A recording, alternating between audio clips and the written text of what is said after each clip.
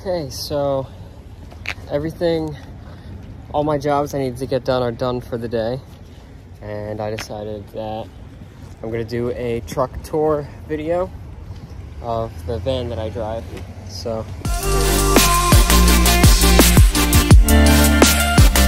Peter driving away in Mike's truck, but this is the van. It's the Mercedes Sprinter that Mike's shown in his videos a bunch of times, but the cab I have this uh, return. I need to return this back to Supply House, but this is where I keep the iPad. I charge my flashlights. I charge the uh, Milwaukee batteries, and I try to keep it clean. Winter hats on the dashboard. But this is the inside of the van. I just used my tool bag for something at the shop, but here are the back doors. Have some rags or towels drying there right now, but this is a steam uh, trim kit, all the controls you need for a steam boiler. But uh, that's where I keep all the piping. PVC, some black pipe, uh, a lot of copper pipe. And I keep my Milwaukee filter right here, uh, just to keep it out of the way. I never keep it in the vacuum because I don't want someone to take it, vacuum up water, and the filters inside. But uh, I have to get a new box of gloves. I got these three things recently. They're nice, they hold stuff. Uh, I just put random stuff on here, Nylogs, some CO2s. Got screws from uh, an Ultra, because those tend to go missing. We show up and they don't have them there. And uh, just some like sealant, stupid stuff.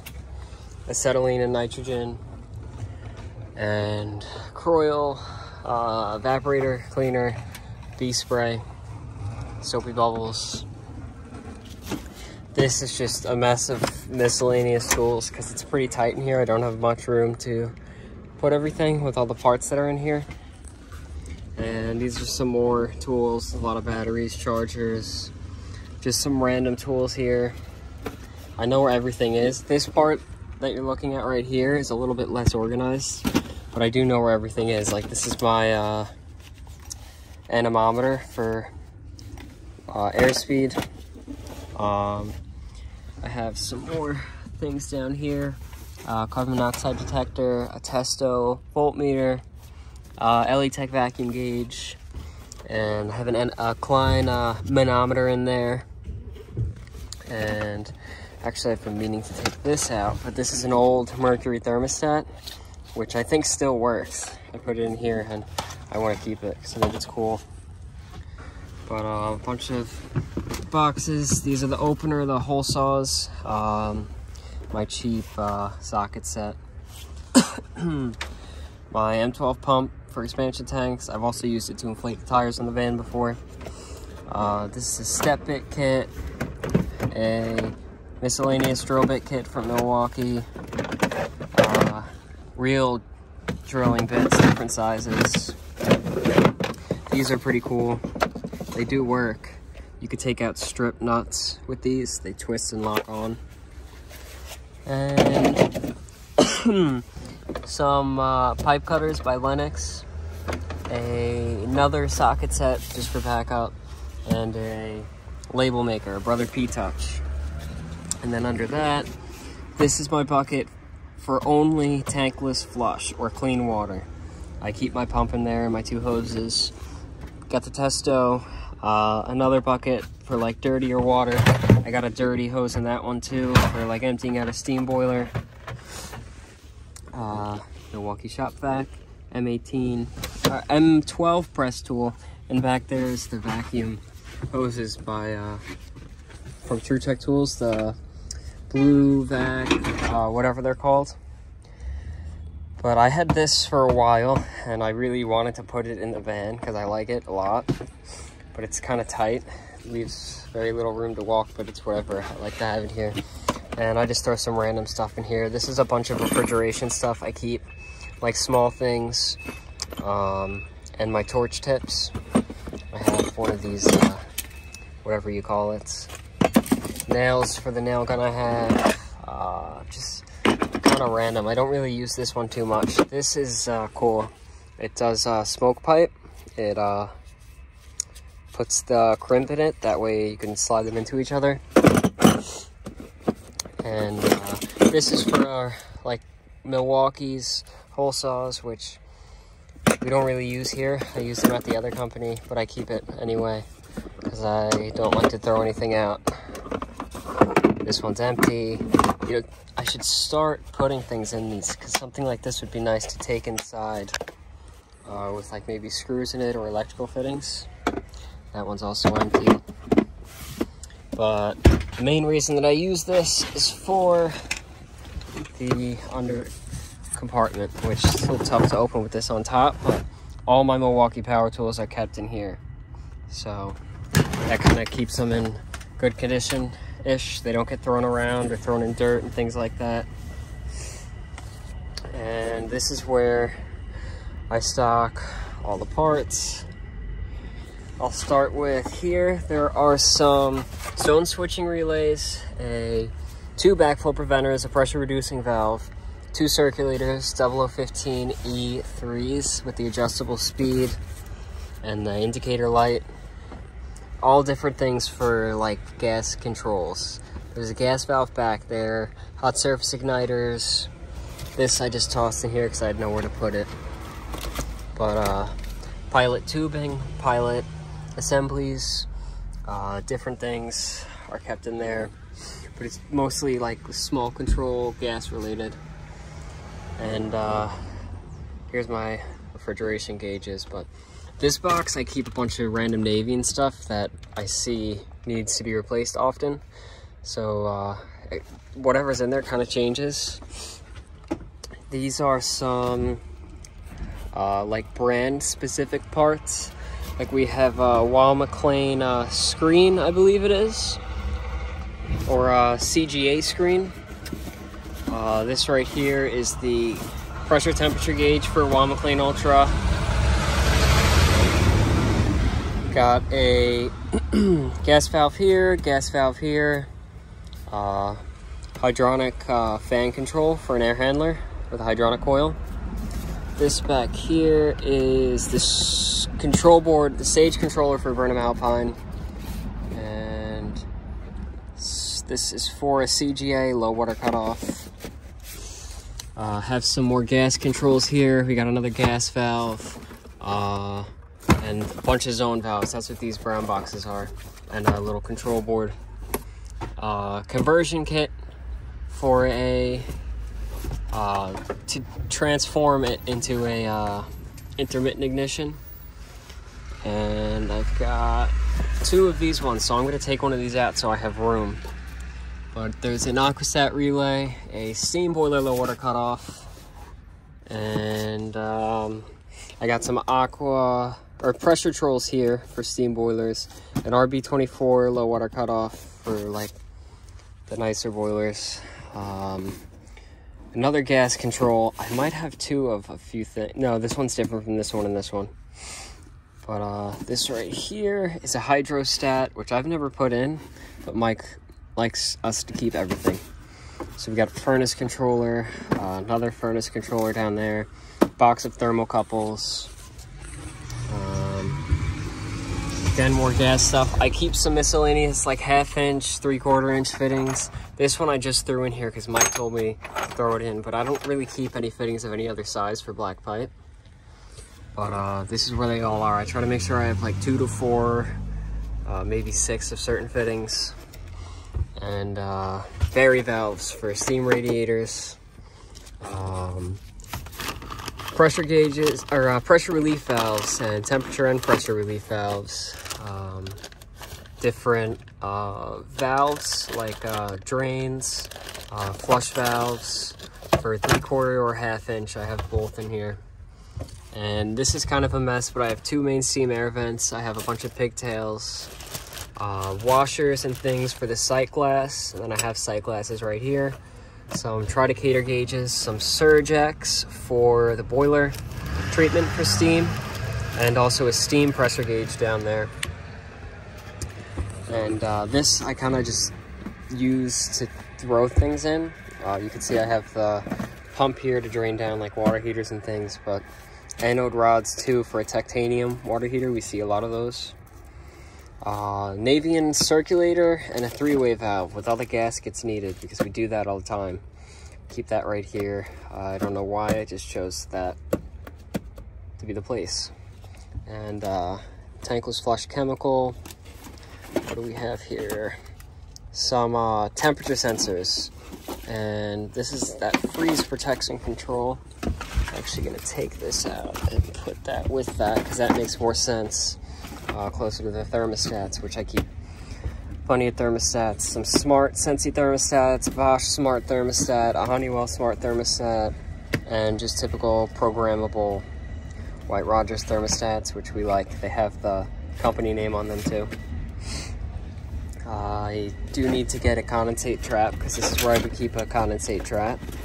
But you can see I have different switches for the water. This is a gas valve by Resideo for a specific A.O. Smith that uh, was sent under warranty, but had a bunch of issues with the customer, and I ended up getting it. So this is temperature sensor for a Jandy pool heater. Uh, we see a lot of Jandy pool heaters, so keep that in there. And this right here is kind of want to straighten this out for a second. But it's uh, kind of random things. Um, but this is a UV system, that's a UV system. This is a Weil-McLain Ultra Service Kit, because we see tons and tons of those. And there's a humidifier canister back there for a steam humidifier. We've got pretty much every possible replacement blower motor if we need. And below that I have some condensate neutralizing media. Um, this is a bracket for a furnace uh, for a fan motor. And another fan motor down there, which is a replacement for ECMs. And uh, this is where I keep my step stool. I got this giant 48 inch pipe wrench, uh, my refrigeration uh, scale. Back here, we got a Weil-McLain service kit for the 105, the smaller boiler. My nipple tray with three quarter and half inch it's a vacuum pump oil, my Rolly extension cord, some furnace cement, vacuum pump, and then behind the Milwaukee case is an ST12 and an EX30 expansion tank. So if I need those, I have them. Also keep um, five inch and six inch vent dampers behind there as well. But uh, let's see, I put screws and things in this bin right here, uh, stickers, tags, uh, I'll put little printout sheets here too, just kind of anything that I like to keep cleaner goes in here, which this did come out of my Milwaukee box. And I have an extra set of gloves here that I keep. But uh, over here, I got the Pipe Doctor floor mat that we roll out, the red carpet uh, duct ties, and the pipe vise. Uh, I don't know why I chose to put it there, but it works. Um, all of these are my different trays. So three quarter copper sweat, half inch copper sweat, PEX fittings, inch and a quarter press, one inch press, three quarter press, half inch press, and PVC.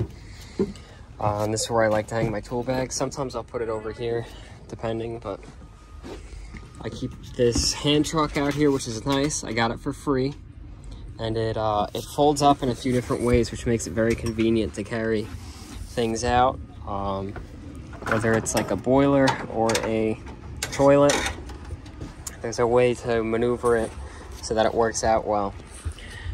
But uh, up here is again slightly less organized, but I try to keep like my tapes here. So I have Teflon tape, mastic tape, uh, foil tape, uh, I have some WD-40, my condensate drain treatment tablets, um, some penetrating fluid that I got before Mike told me to only use Kroil because Kroil works great for us. Uh, foam tape. Screws, I got my Stay-Brite 8 Flux solder, my mirror, my band iron. Very loud. Uh, PVC, got my glue and my primer. There's another roll of Teflon tape in here. Oh, guess it's staying there. Uh, some scratchy paper all the way in the back in this box. Wet rag, two different kinds of wet rag. This one's called Hot Block. That's the actual wet rag. Uh, and there's a roll of electric tape in there, but my striker is in there. My pipe dope's there. These I threw in here recently. Should find somewhere else. I, honestly, I should just take these out because I'm never going to use them, but they're just caps for three inch pipe, maybe four inch, might be four inch. But I got my super seal down there. Easy Seal, Super Seal. We use that a lot. Um, not necessarily because it stops the leaks, but for the dye. But it has stopped leaks before, so. Thermostat wire. One of these is supposed to be five, but people going in and out of the trucks, it ends up not going back in or getting replaced with a different one. And just some random uh, larger PVC fittings that I don't use too often, just in case I need them. Got one of pretty much every size capacitor you could think of. And if not, we have the rescue caps, which you can turn into multiple sizes. The turbo, this one is for the larger sizes. Super boosts um, for compressors. And uh, this is a compressor saver, so it's got the contactor and the uh, start capacitor. Uh, it works a little bit better than these super boosts, so we have one uh, surge protector right here. This little relay slipped out from somewhere, but contactors, these are smart uh, contactors, so they're not just a direct pull-in switch, they have their own little board in them. But I do have regular contactors, you can see back there, along with some random things that Johnstone, or uh, Ferguson had given me one day. And then what do we have here? I believe this is the control board for a Rheem Prestige. Yeah, condenser. I think it's Prestige. But one of the Rheem condensers, the more higher tech ones. Um, below that, got my 3 8 uh, clear vinyl tubing. Some electrical connectors for half inch um, whip for uh, making whips to connect the uh, condensers outside. Various electrical fittings, uh, heat shrinking stuff, uh, wire nuts, and uh, see BX connectors and things like that are in this one. Uh, a few different containers of connectors, female, male, spade, whatever. ring connectors, the Y connectors. And then here's wire, which I haven't opened up yet, but that's to make whips we stopped buying the, the whips themselves that are pre-made and we buy the Liquid-Tite now instead and wire and in there is some more electrical stuff I like these too they're those little breakers for 24 volts that are in a lot of the RTUs that we see there's some zip ties in there condenser cleaner condenser cleaning tools my refrigerant uh, recovery tanks for R22 and 410. This is fire block sealant. Um, why I have it, I needed to use it one time and I've kept it in here since. A bucket for garbage. That's also a bucket for garbage. And that's pretty much it. I keep the M18 blower up here uh, for blowing out the van, blowing out condensers. Hilmor bending tools right here. Elitech electronic leak detector, and my Testo uh, wireless refrigeration probes. But uh, it's nice. Uh, Trade Fox umbrella. Use this all the time, especially in the summer to stay out of the sun. That was super, super cool that Mike got us that. Um, yeah, I try to keep it as clean as I can. It gets a little bit tough uh, when we're super, super busy, but see you can walk through it. Uh, that's really it. Some contractor bags. Oh recovery machine and my Burnham Alpine kit. That has all the different parts I would need to work on a Burnham Alpine which is amazing. Use that all the time when we work on them random uh, toilet flapper in here I actually usually keep a wax seal in here so I'm gonna grab and throw one in just in case uh, I got another Milwaukee filter. right back there if you see it. Because uh, they get lost all the time and I like to have have one as backup. I hate sucking up. Um, I just hate having damaged uh, vacuum filters. I think it's the worst thing. Some rags here, a first aid kit, in case I start dying on the job. Um, Sawzall blades and things are in here. I got this stupid tool, which I tried to use it. And it doesn't really seem to work to straighten out fins on condenser or evaporator coils. There's all different sizes, but it's a piece of garbage. I got a staple gun, uh, which this is nice for stapling uh, thermostat wire. There is a couple cutters in there, PVC and pipe cutters, uh, PEX crimper. But uh, pretty much any of the bigger tools like cutters or things like that, I pull from here. Uh, I have an older flaring tool that has the uh, clutch in it so you don't over tighten. Then I also have a really old one that was given to us by a subscriber, which I haven't used yet. But uh, it's cool, it's an older Ridgid one. I'll just show you. You can tell it's been used a ton, and I'm sure it still works amazingly. Uh, that's, that's pretty much it for everything in the van. I mean, some hoses, but a fire blocking mat for soldering in like a tight spot. Um, disconnect, uh, quick swap for ECM motors. Um, OEM constant torque ECM motor replacement. So I believe you use it to, I haven't used it yet, but I believe you use it to convert an ECM to a regular. But, six foot ladder. You can see bungee cords everywhere. I keep everything strapped in because I don't like things moving around and making noise when I'm driving or falling over and knocking other things over. So everything is strapped up. You can see I have plenty of extra bungee cords just strapped at the top too. I love bungee cords and they keep everything clean. They keep the noise down. It's great. But uh, yeah, I think that's that's pretty much it for everything that I keep in here, at least everything that's important. I do have a ladder rack, which that's the tool to bring it down. There's the ladder. forget how long it is. Maybe 12 feet, 10 feet, but it extends, so might go up to like 18 or 15 feet or something. And it's wrapped with different brands and things, but it's nice. I like it. Let's see inside. Um, I usually keep some money here for tolls. Uh, I keep uh, different small things, pens, whatever, a little level, lighter in there uh, for whatever I might need. And I do have some really strong magnetic hangers here. Got one here and they're like crazy, crazy strong. So that's what I hang like my jackets and stuff up on. And that works out well. Um, keep different things up here like uh, paperwork that customers might need to sign or uh, maintenance agreements. I have a bunch of those in here. Uh, filter size chart and more manuals and things for boilers. Here, this is cool.